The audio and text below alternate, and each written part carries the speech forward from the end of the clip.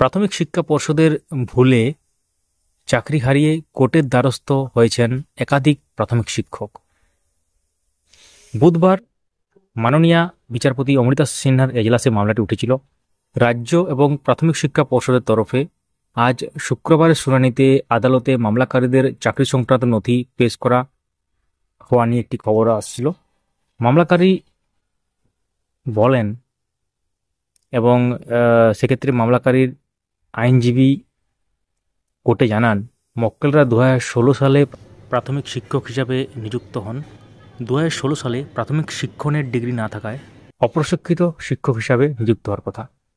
কিন্তু পর্ষদ প্রশিক্ষিত শিক্ষক হিসাবে চাকরি দেয়। দু সালে তারা প্রশিক্ষিত শিক্ষক হিসাবে চাকরি পাওয়ার যোগ্য নন। এই যুক্তিতে বরখাস্ত করা হয়। ওই আইনজীবীদের যুক্তি, তাদের মক্কেলরা কোনো প্রশিক্ষণের নথি দেননি। তাই নিয়োগের ভুলের দায় তাদের নয়, পর্ষদের। অপ্রশিক্ষিত শিক্ষক হিসাবে যারা চাকরি পেয়েছেন, তাদের থেকে মামলাকারীদের প্রাপ্ত নম্বর বেশি, তাই অপ্রশিক্ষিত বিভাগেও তারা চাকরি পাওয়ার যোগ্য। অথচ সাত বছর ধরে তারা চাকরি হারা হয়ে আছেন। আদালত থেকে যে খবরটা আসছে, এর আগে এই ব্যাপারে একটি মামলা হয়েছিল। তখন কোর্ট মুর্শিদাবাদ জেলার ওই জেলাতেই মামলাকারীরা যেহেতু কর্মরত, প্রাথমিক সংসদের সভাপতিকে আবেদনকারীদের আর্জি বিবেচনা করতে বলে, কিন্তু সভাপতি চাকরি বাতিলের সিদ্ধান্ত ভালো রাখেন। তো এক্ষেত্রে যে ব্যাপারটা উঠে এলো সেটা আপনাদের সাথে শেয়ার করা হলো।